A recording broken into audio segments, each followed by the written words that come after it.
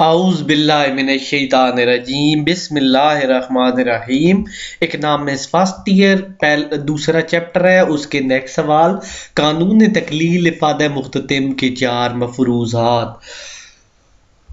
अफादा की अददी पमाइश, नंबर एक नंबर दो सारिफ की जेनी कैफियत ना बदले। नंबर तीन शय का मुसलसल और लगातार इस्तेमाल। नंबर चार पे आता है शय की तमाम इकाएँ। यकसा नोयत की हों।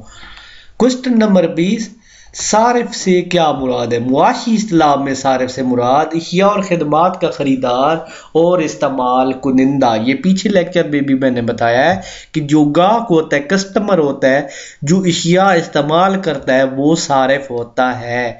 मसलन हम जैज़ वालों का या जोंग वालों का नेटवर्क इस्तेमाल करते हैं तो हम सारिफ हो गए। या हम लक साबन या कोई भी डब साबन यूज़ करते हैं या कोई भी चीज़ यूज़ करते हैं तो हम उसके सारिफ होंगे। होंगे कुल अफादा से क्या मुराद है? एक वक़्त में किसी शय या खिदमत की तमाम इकाइयों से हासिल होने वाला मजमू अफादा, कुल अफादा होता है। मसलन पानी के गिलास से बंदी की प्यास बुझ जाती है, उससे कुल अफादा हासिल हो जाता है, लिहाजा वो कुल अफादा कहलाता है। अफादा से क्या मुराद है? किसी शय की वो खूबी या वास्फ या सलाहियत जो किसी इंसानी ख्वाहिशात को पूरा करे, मसलन पानी का गिलास प्यास बुझाता है और खुराक भूख मिटाती है। जो चीज़ इंसान को फ़ायदा देती है, जिसमें कोई फ़ायदा देने की सलाहियत होती है, वो अफादा कहलाती है। कानून तकलील अफादा मुख्तम की तारीफ़ करें। दीगर हालात बस दस्तूर कायम रहते हुए, जब कोई शख्स किसी शय का लगातार इस्तेमाल करता है तो इसका अफादा मुख्तम गिरता चला जाता है, जिसे कानून तकलील अफादा मुख्तम कहते हैं।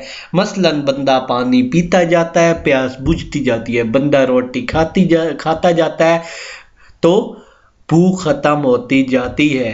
तो ये हो गया कानून तकलील अफादा मुख्तम